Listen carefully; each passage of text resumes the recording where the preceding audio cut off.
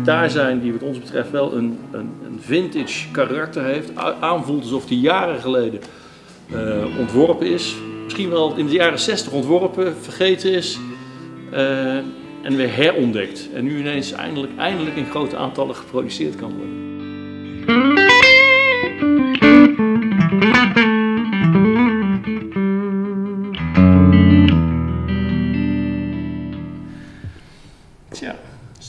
Het in één keer op waar groter ziet. In plaats van op computerscherm. Je denkt altijd dat het veel te klein is, maar als je het zo ziet, dan is het, Ja. volgens mij is het, is het goed. Denk ik ook. Het is een, een, een samenraapsel van allerlei dingen die, eh, die eh, ik en- of wij hebben geleerd in de afgelopen tijd. En dat proberen samen te vatten in een, in een, in een fucking cool, cool ding. Wat, wat, wat ook niet meteen je, eh, dat je niet hoeft te overwegen om de auto van je vrouw te verkopen voordat je hem zelf kunt kopen. Dus dat, dat hoeft allemaal niet. Het is een beetje in de, in de eh, zoals, de, hè, zoals de, vibe van van Meer, een betaalbare goede gitaar, dat gaat dit ook worden.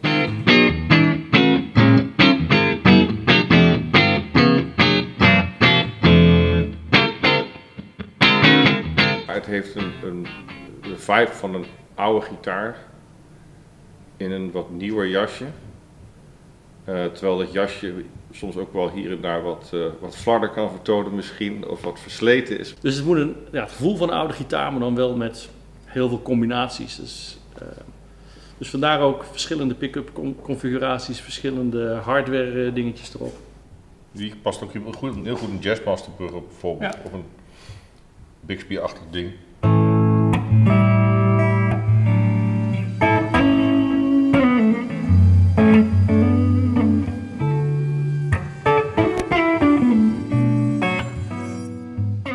Zijn ooit begonnen bij, met, het ontwerpen van de 2.0 met, een, eh, met deze als, als een soort basis. Dit heb ik, ehm, ehm, weet ik veel, vijf, zes jaar geleden een keer gemaakt.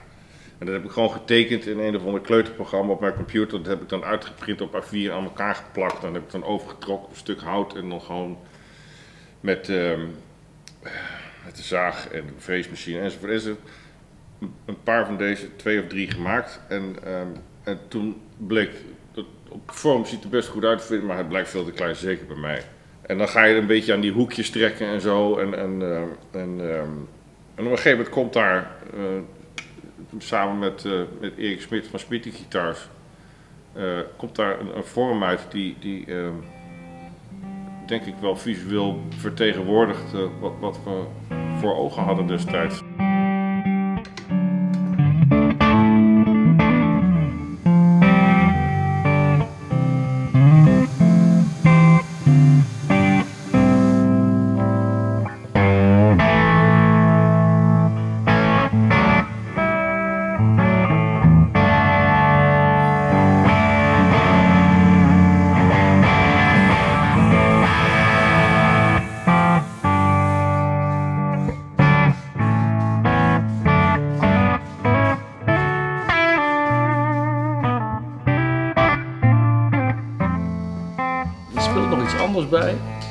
Al die grote merken komt allemaal uit de Verenigde Staten.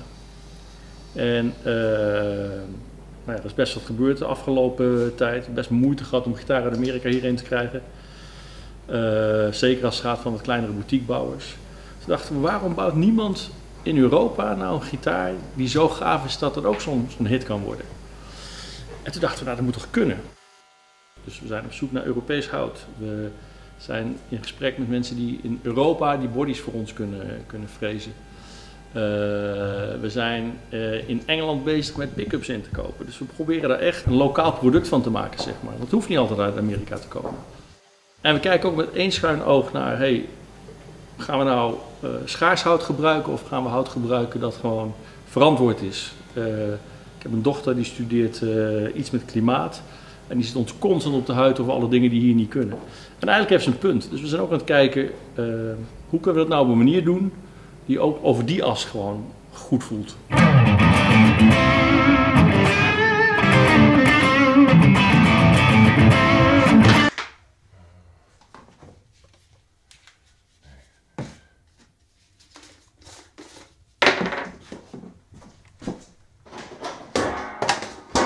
Mij is het de perfecte gitaar voor allerlei eh, gave kleurstellingen. En ik, kwam er, eh, ik had het daar zaterdag met iemand over.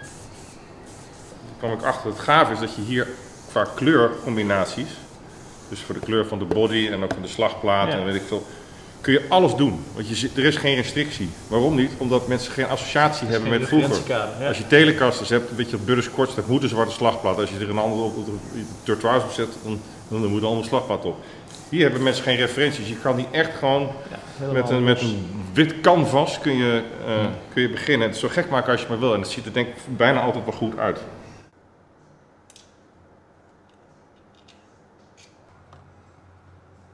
Er zijn twee verhalen over de naam van de Cozy. De eerste is waar. We hebben een klant, eh, Alex, een hele grote eh, Duitse meneer die perfect Engels spreekt. En hij heeft het vermogen om ehm, dingen heel mooi te beschrijven in het Engels. En toen we het eerste prototype hier in de winkel hadden, toen, ehm, toen ging hij gitaar spelen en hij zat met het ding op schoot. En hij had er allerlei woorden voor. En een van de dingen zei hij, zei, oh, this really, really feels cozy. This feels so cozy. En toen zei hij, you should call it a cozy. En dat hebben we toen eh, overgenomen, want dat is ook een goede naam. En het tweede verhaal achter de naam. Dus we hebben natuurlijk een hele film gemaakt over het zogenaamde ontstaan van deze gitaar. Ehm, en daar is de ontwerpster van de gitaar, die heet Cosette Gemoedlich. En ja, short voor Cosette is natuurlijk cozy. Het voelt gewoon echt als een, als een oud ding. Het is ook heel comfortabel met die, met die, eh, met die bodycut en die... Fijne, fijne, van Dit zo'n weet je grote, wel. fijne van zo'n grote gitaar is dat het voor de meeste mensen op, op schoot heel lekker speelt. Dat je die persoon, niet met je, nou ik, ik ben groot, maar niet zo'n ukulele gevoel hebt. En om je nek is het ook fijn dat hij zo licht is. Je kan de hele avond mee om je nek hangen zonder dat je pijn in je schouder krijgt of je rug of zo.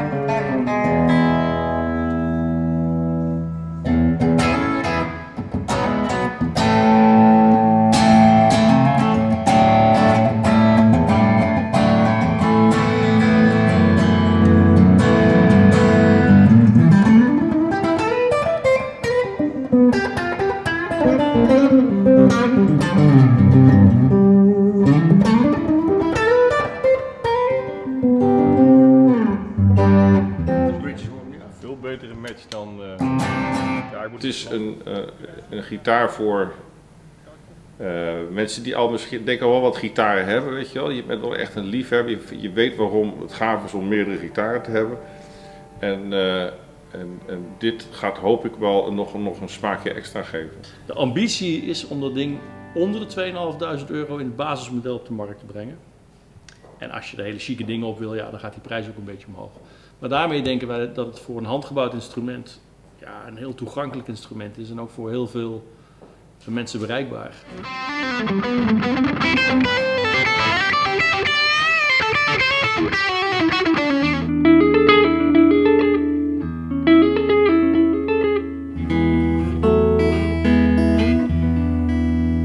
Dit zeg. En zo licht. Toen we er op een gegeven moment een stuk of 10, 11 hadden, toen hebben we een aantal gitaristen gevraagd om ze te komen kijken en ze allemaal vasthouden en spelen en hun favoriet te kiezen. En eh, ja, de reacties daarop die, die zijn hoopvol voor ons. Mensen zijn echt enthousiast over de gitaar en we denken dat ze dat ook echt menen.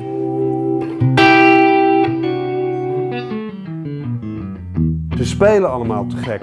Eigenlijk die, de setup is te gek. Dat je die hals, echt heel fijn. En het feit dat het naar elkaar toe is. En ook door de, dat komt ook door die body. Het speelt heel makkelijk.